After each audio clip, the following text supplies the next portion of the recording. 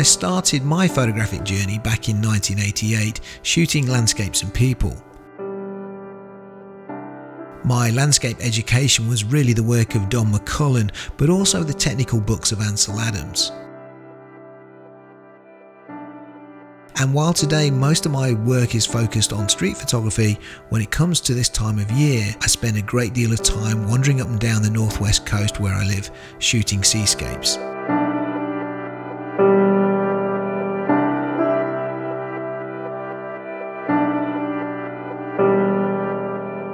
Earlier this month, Leica Photography International awarded one of these images with a Leica Master Shot. On this particular day in October, the autumnal sun was very low in the sky and the light was quite harsh, and this just forced me into shooting silhouettes. And luckily, there were a few people on the beaches to make some interesting pictures, but there was nothing that I hadn't shot a million times before. We decided to head back to the car, and as the light was fading, just for a split second, this scene appeared in front of me.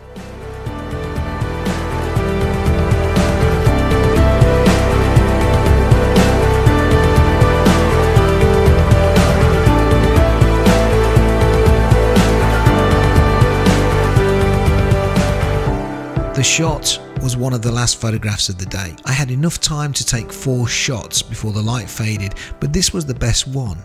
And for me, it's the position of the people, it's the light and the mood. These are the things that really appeal to my eye. The shot was taken, as always, on my Leica M monochrome with a 28mm lens with a yellow filter.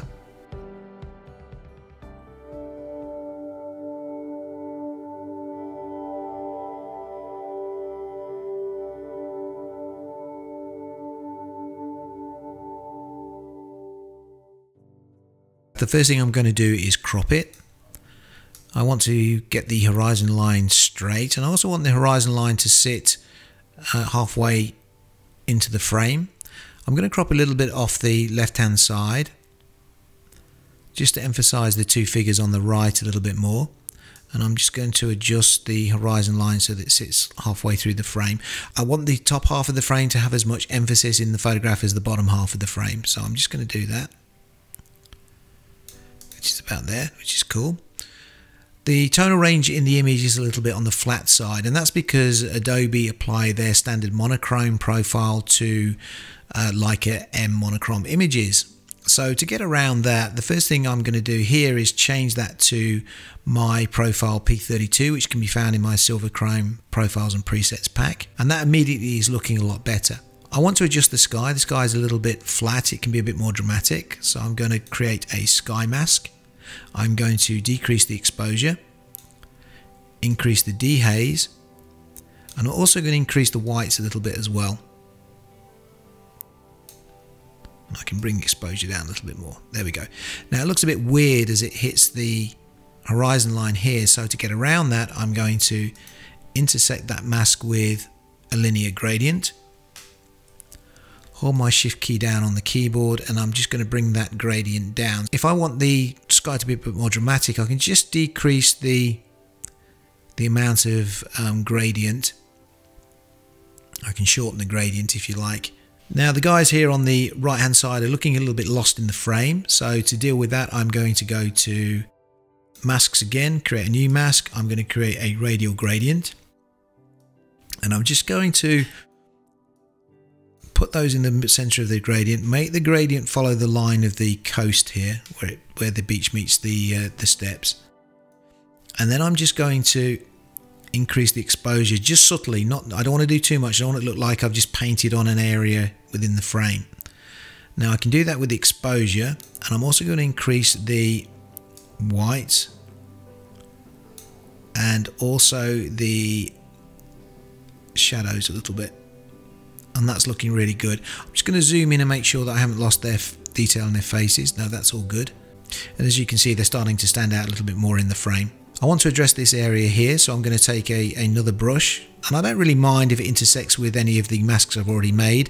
When we dodged and burned in the old traditional analog darkroom, we used to get areas where you'd have one area of dodging bleed into another area and so on. And that all made the image have a lot of life, and I, I'm quite happy with that. So I'm just going to increase the whites here. I don't want to do too much else.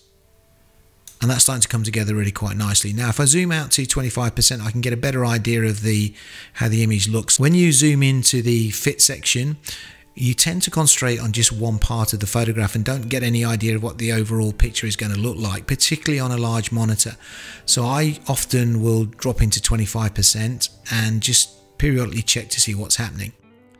Now I can see immediately once I've done that that um, it needs a lot more contrast. Now I can do that several different ways. The way I like to do it, particularly within these kind of landscapey images, is with the color grading wheel and just deal with the midtones, the highlights and the, the shadows. Now if we click on the shadow wheel, we can use the luminance slider to make the image flatter or have more depth in the shadows. So I'm just going to drop that down a little tiny amount. It doesn't need much. Same with the highlights. I'm just going to increase the highlights a little bit. And then with the midtones, we're going to give the overall image a lift. Now the real magic happens when we use the balance slider because with that we can now change the relationship of the adjustments we've just made and we can have some really fine tuning of the overall contrast of the image and I quite like that there. I think that's really quite nice. Now while I'm at 25% I can immediately see that this area here needs to be darker. So I'll go back into fit. I'll take a brush and I'm just going to make that area a little bit darker and add a bit of texture in there because it's uh, there's steps there and I like those to be emphasized. There we go come back to 25% again just to double check. And that's looking really quite nice. Probably a little bit more contrast is needed so rather than go back into our um, color grading things I'm happy with how far I, I took that. I'm just going to use one of the other tools which I like to use which is the tone curve. I'm just going to increase the highlights. Okay and then decrease the shadow areas. Not too much I don't think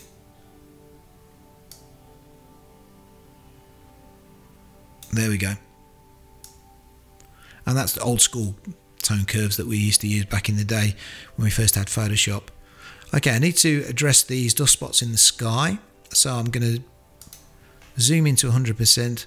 Now, before I do that, you can see immediately what's happened here as I've zoomed in. We've started to lose the, the faces within that um, adjustment that we just made. They're starting to uh, lose a little bit of detail.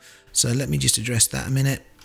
Small brush fact what I could do here is I could just go into create mask um, go to objects and just paint over those two there and it should mask that. Right I'm not worried about this bleeding. I just want that highlight. So let's go into our highlights. There we go and we've immediately brought the detail back in their face. It's great so I'm happy with that. So let's go up to the sky and deal with these the spots. Now, as of time of recording, I'm on Lightroom Classic 12.0.1 and the retouching tools are in a different league to anything else that Lightroom have ever done before and they're so good in fact that I don't have to go into Photoshop to actually do any retouching particularly of dust spots and that's a huge time saver because I used to spend a lot of time in in uh, Photoshop retouching dust spots in skies. But uh, this new version of Lightroom is fantastic. It's a few clicks and it's all cleaned up and it's done. Just double check the whole image. Okay, that's done. And as you can see, it does an absolutely perfect job. Just missed one there. There you go.